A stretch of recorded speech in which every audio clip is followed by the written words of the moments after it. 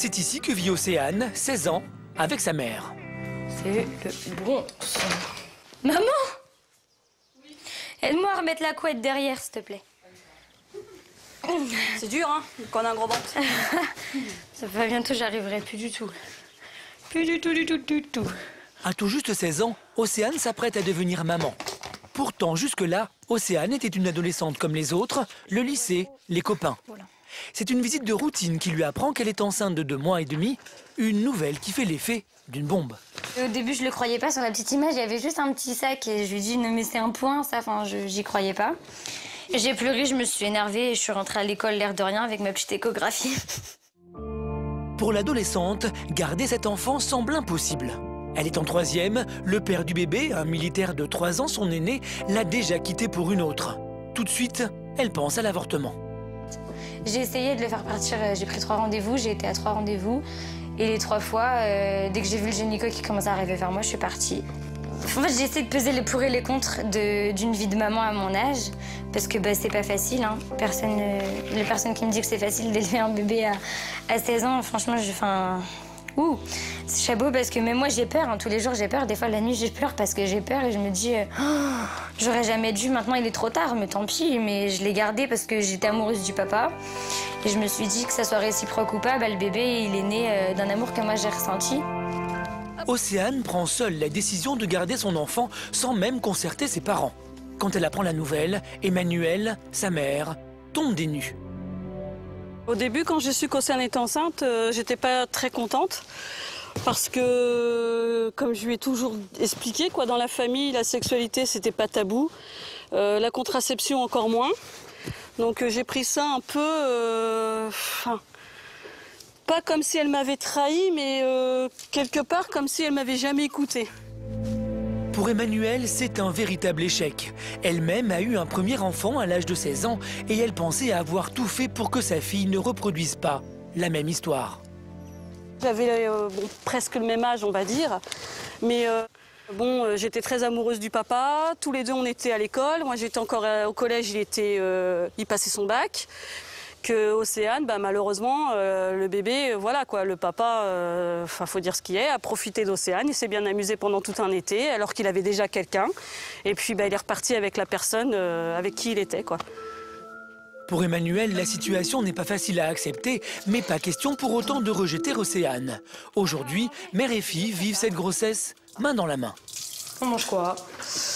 Euh, Des cœurs de palmier avec du maïs et puis des petits pois avec des escalopes à la crème. À l'annonce de sa grossesse, Océane a quitté le collège. Du coup, elle est toute la journée à la maison. Et même si elle va bientôt être maman, Océane se comporte encore comme une petite fille. Océane, elle fait pas grand chose dans la maison de toute façon, donc euh, elle débarrasse même pas son petit déjeuner. euh, Elle fait, elle fait rien en fait. Elle épluche les pommes de terre de temps en temps. Je sais pas faire la cuisine en fait, je sais faire les, les surgelés et puis les boîtes quoi. Ah, c'est tout. Océane, une ado finalement comme les autres, et les corvées de vaisselle, elle a bien mieux à faire. Difficile à croire, mais dans deux mois, Océane va devenir mère d'un petit garçon. Un bébé qui va débarquer dans sa vie d'ado, mais aussi dans sa chambre. Et pour la déco, elle a déjà pensé à tout. J'ai acheté tout Barbe à Papa, le tour de lit, le mobile, tout, les gigoteuses, enfin j'ai acheté tout Barbe à Papa. Quand on a su que c'était un garçon, maman elle a peint le prénom de, en Barbe à Papa parce que bah, j'adore Barbe à Papa. Et Joran, c'est c'est un vent dans le Jura. C'est pas connu, c'est pas un prénom en fait. Et euh, Un prénom qu'Océane a choisi toute seule. Pour le reste, Emmanuel, la future mamie, met son grain de sel un peu partout. Avant d'acheter en fait des vêtements, je demande à maman son avis parce que en fait moi j'a- j'adore le jaune, bah ça se voit. Le jaune et le bleu. Et je voudrais que si je m'écoutais, mon bébé il serait toujours tout jaune ou tout vert pomme. Et maman elle aime pas trop, donc euh, je lui demande et puis euh, quand elle aime bien, elle prend. Maman elle fait plein de cadeaux aussi. Tu vois. Océane n'hésite pas à solliciter sa maman à bout de champ. À 16 ans, elle ne se sent pas encore mûre pour s'occuper seule d'un enfant. Je suis ni une adulte ni une enfant. Je suis une, une maman ado quoi. Je suis et je suis pas adolescente non plus. Je suis je suis mi femme mi enfant. Je sais pas comment dire. Je suis mélangée. C'est pas facile. Parce que des fois, mes envies d'ado, elles dépassent mes envies de, de maman. Et j'ai peur que ça soit trop le cas après. D'ici deux mois, Océane va devoir abandonner ses habitudes d'adolescente et faire face à ses nouvelles responsabilités. Va-t-elle réussir à accepter cette maternité? T'es toujours obligé euh, d'être là pour ton enfant, quel que soit son âge, quoi. C'est pas un jeu, quoi. Océane, 16 ans, est au septième mois de sa grossesse. Océane, t'es levée? J'ai pas émergé. Je suis pas réveillée. C'est ça qui est bizarre. J'ai dormi au moins 10 heures là. Toujours chez ses parents, elle a du mal à réaliser qu'elle va bientôt devenir maman. Et les signes avant-coureurs la déstabilisent complètement. Hier après-midi. Mais t'en auras tout le temps des contractions, Océane, c'est pas... Bah oui, sauf que là, elles se sont pas arrêtées de la nuit. T'inquiète pas, c'est pas des contractions d'accouchement, parce que tu serais pas comme ça en train d'en parler. Bah non, je sais. C'est pas fait. Depuis qu'Océane a quitté le collège, elle passe toutes ses journées seule à la maison. Ses amis lui ont tourné le dos en apprenant qu'elle était enceinte. Il y a Simon qui me parle, mais... Oui, ben ça. Il vient te raconter la fête euh, Ouais. Carême. Seuls quelques-uns acceptent encore de lui parler et seulement via Internet. Mes copines d'avant, je leur parle pas spécialement. Il y en a qui me parlent, mais euh, que sur l'ordinateur. Là, il y a eu une fête dans le village, elles étaient tous là. Il y en a pas une seule qui m'a dit euh, Tu veux qu'on vienne te voir Euh, On est à côté de chez toi. Donc, pour elles, je suis un animal, un animal de foire en fait qu'on traîne. et Elles, elles comprennent pas en fait mes choix. Océane était pourtant un bout en train. Les copains, les fêtes, les boîtes de nuit, cette vie d'adolescente, comme les autres, est aujourd'hui terminée. Au début, je l'ai mal vécu parce que le papa il m'a laissé. J'avais que mes copines, j'étais bien avec mes copines, je profitais, j'étais tout le temps dehors et puis euh, après, bah comme mes amis m'ont laissé, le papa il m'a laissé, j'étais j'étais pas j'étais pas bien, j'étais nostalgique en fait du temps d'avant. Du coup, ça m'a fait regretter, j'ai regretté. Puis après, je me suis dit que si bah elle me parlait plus, mes amis c'était pas des amis donc euh, j'ai laissé tomber un peu. J'ai dit euh, tant pis.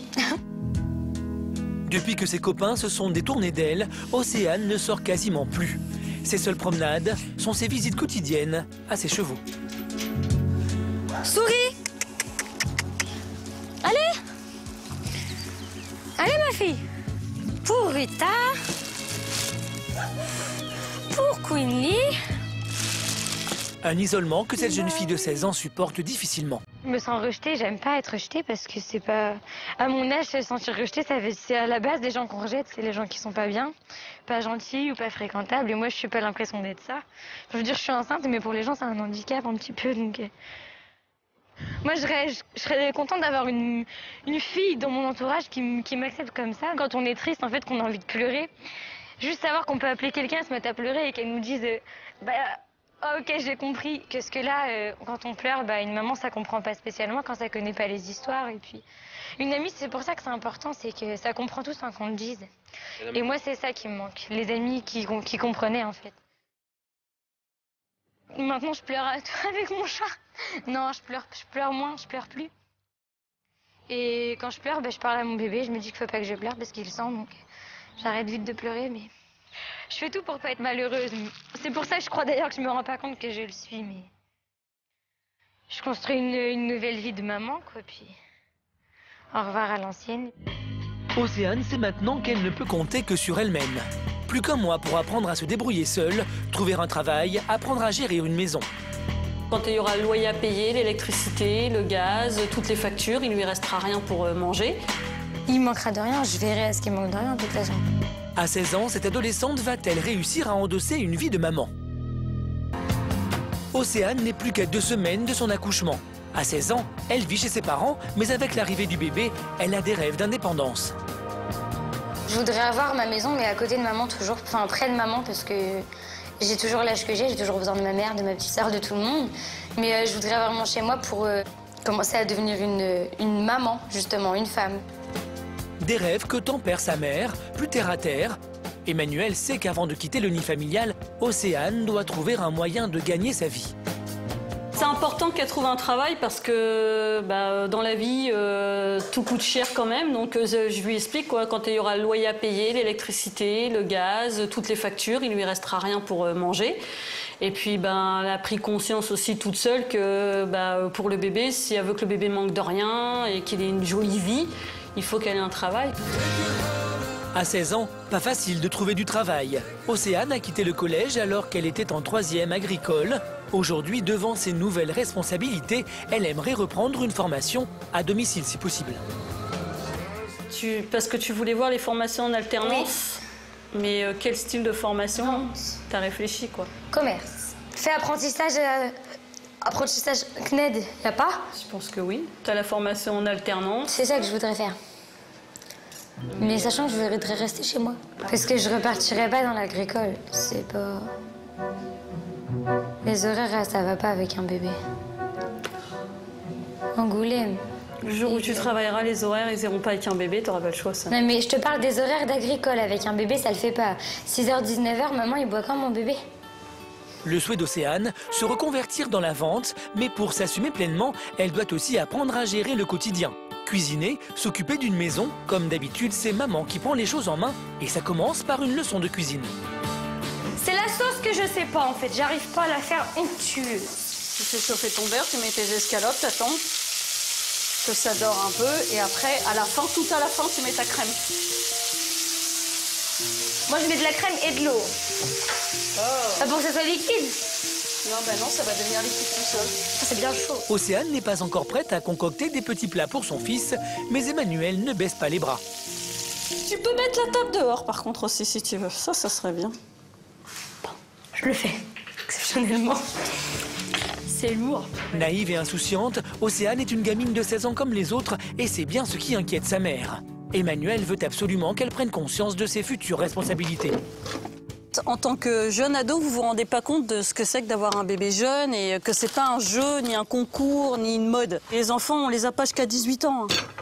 Jusqu'à 30 ans, 40 ans, 50 ans, t'as toujours ton enfant et t'es toujours obligé euh, d'être là pour ton enfant, quel que soit son âge, quoi. C'est pas un jeu, quoi. Bah, je sais. Je l'ai pas fait parce que c'est un jeu. Non, mais voilà. C'est qu'est-ce que je te dis, quoi. Il y en a, peut-être, mais moi non. Faut réfléchir beaucoup. Un bébé, c'est beaucoup. On perd ses amis, on, en a des nouveaux. On perd des fois son copain, on ne retrouve pas des nouveaux. Enfin, c'est. Ça dit. euh, Ça met le haut sur beaucoup de choses, un bébé.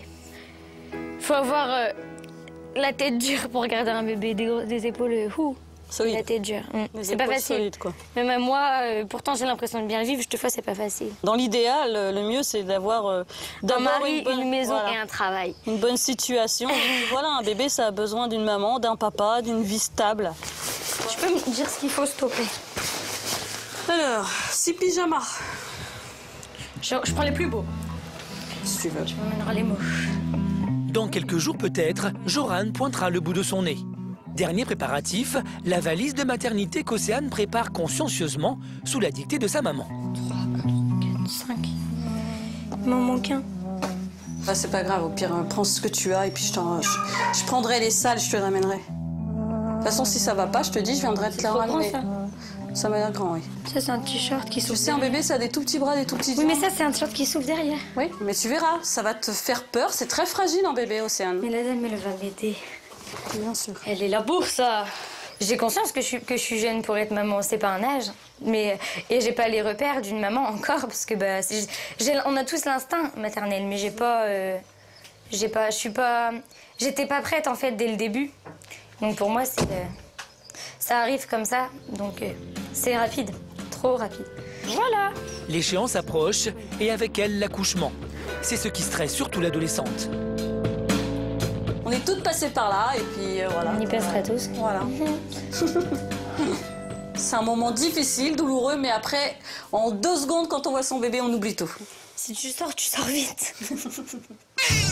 Dans quelques jours, Océane sera maman. Comment vivra-t-elle l'arrivée du petit Joran? Son optimisme d'adolescente résistera-t-il aux pleurs du nouveau-né? C'est dans ces moments-là que je. que j'ai envie de baisser les bras.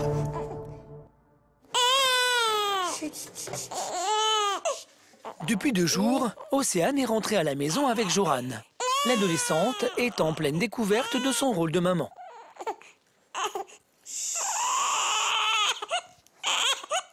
Cette nuit, il a fait bah, 22h30, euh, 3h30 et 4h15, 6h15. Je suis crevée. Et pour Océane, qui avait l'habitude de dormir 10 heures par nuit, c'est un sacré changement. Et il avait faim, hein. Il avait faim, ce bébé. Là, j'ai envie d'aller me coucher. J'aimerais bien en fait avoir un troisième bras électronique qui me donnerait un biberon pendant que moi je dors. Mais c'est pas possible. Océane a accouché par césarienne. Joran, 3,5 kg, 50 cm.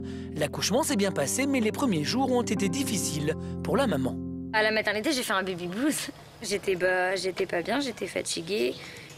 Je pleurais pour rien, je pleurais parce que je pleurais quand il pleurait. Je pleurais en le regardant parce qu'il était beau. Je pleurais parce que j'arrivais pas à savoir où il était caché. Je pleure toujours, mais moins. Je pleure pour des... C'est raisonné, enfin presque. Maintenant quand je pleure.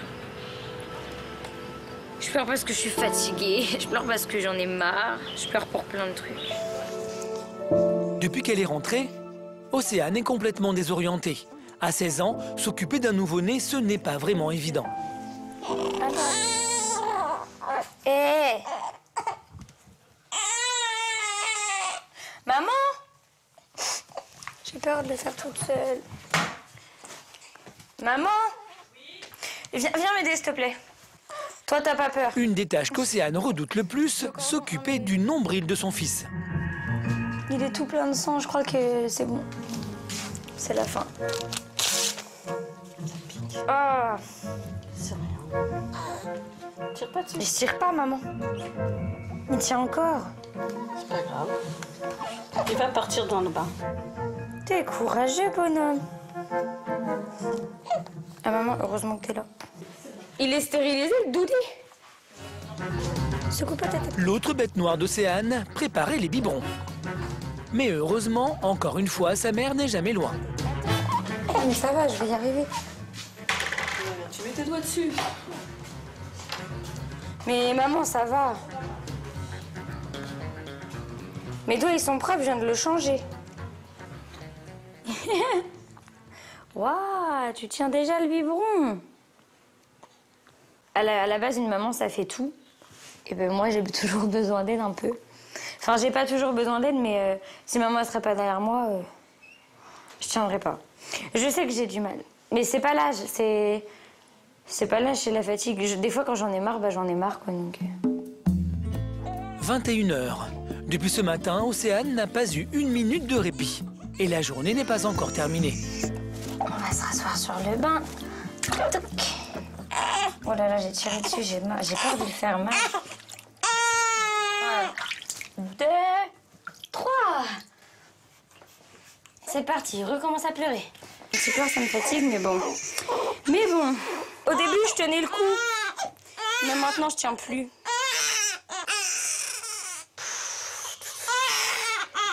C'est dans ces moments-là que je que j'ai envie de baisser les bras. J'aimerais bien euh, lâcher prise, mais j'ai pas le droit. J'ai plus le droit en fait. Mais ça ferait du bien. 23h, Joran a enfin arrêté de pleurer. Océane ne sait jamais combien de temps va durer l'accalmie. Allez, mon bonhomme. Enfin, je regrette pas, mais je me dis putain, quelle connerie j'ai faite. Parce que bah, je me dis que je gâche un peu. J'ai gâché un petit peu mon adolescence, mais c'était voulu donc. euh. Mais non, je regrette pas. hein. pas du tout, même. La nuit sera courte et mouvementée. Et dès demain, tout recommencera. Pour la jeune fille, les prochains jours risquent d'être compliqués. Malgré la fatigue, Océane réussira-t-elle à profiter de son bébé? J'ai fait des bisous d'amour. À 16 ans, arrivera-t-elle à assumer son rôle de mère? Je pensais pas que j'allais l'aimer comme ça. Je sais qu'on aime un bébé, mais je savais pas ce que c'était d'aimer un... d'aimer en fait.